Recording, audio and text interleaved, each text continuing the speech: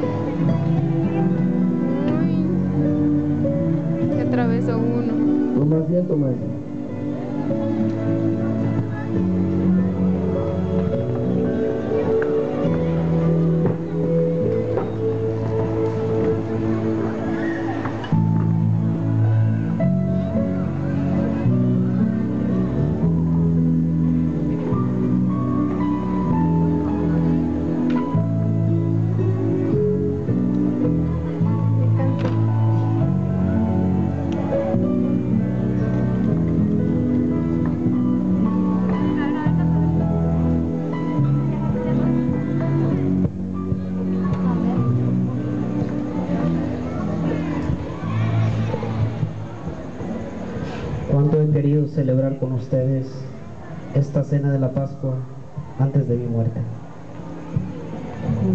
Porque en verdad les digo que no volveré a celebrarla hasta que se cumpla en el reino de los cielos.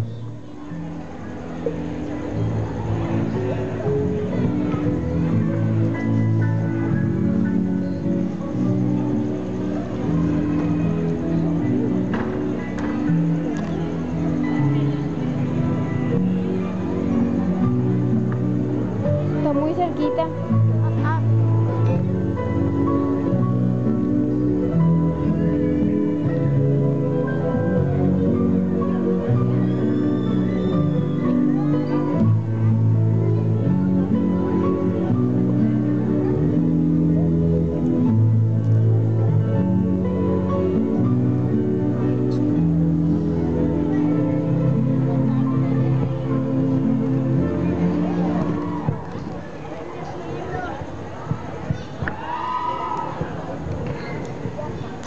Este es mi cuerpo, entregado a muerte por el bien de ustedes. Hagan esto en memoria mía.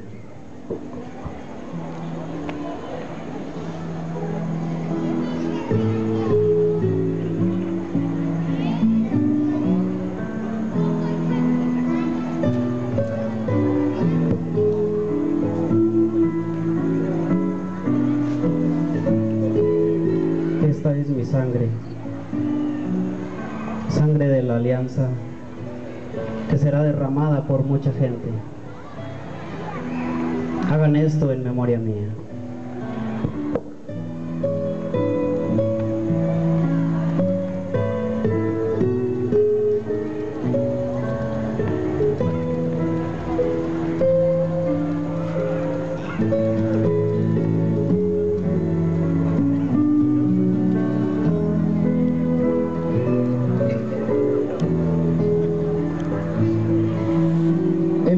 De su muerte, Jesús recuerda la primera alianza en que, se, en que se derramó la sangre de animales sacrificados. Pero Él ahora derrama su sangre por una muchedumbre. Esta muchedumbre se refiere en forma especial a la iglesia.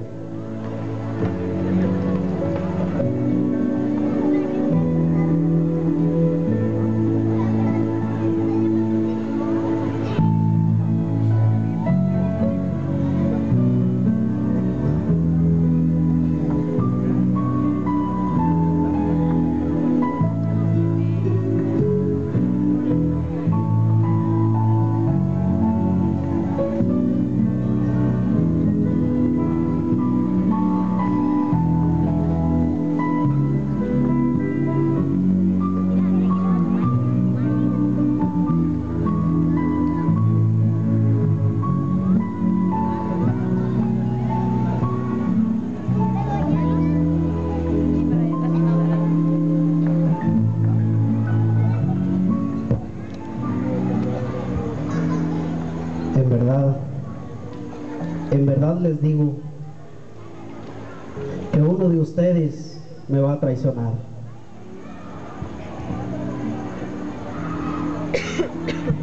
Señor, ¿quién es?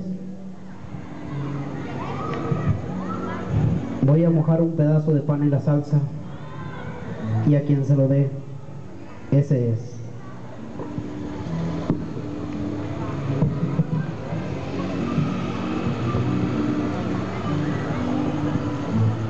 Judas, lo que vas a hacer, hazlo pronto.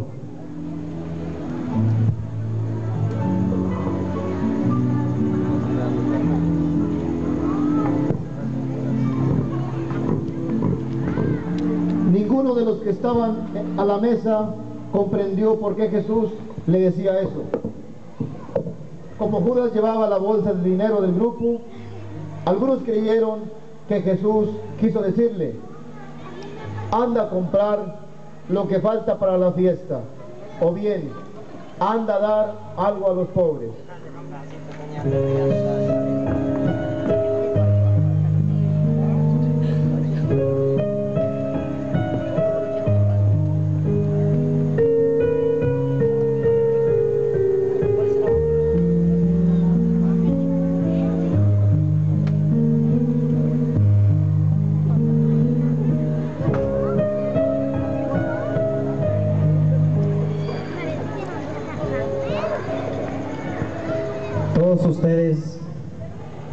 Caer y a tropezar por mi causa.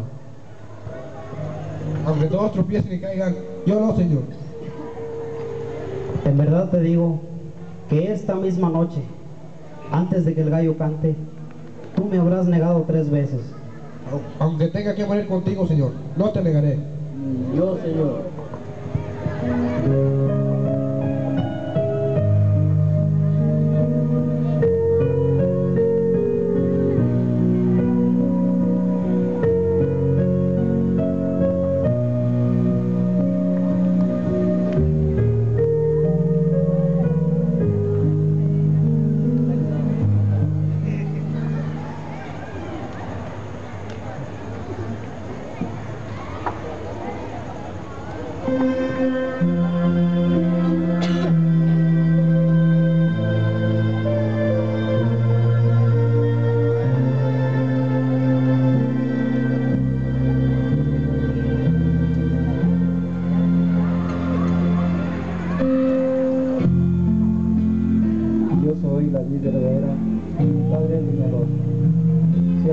Ramas no produce fruto, él la corta y limpia toda rama que produce fruto para que dé más.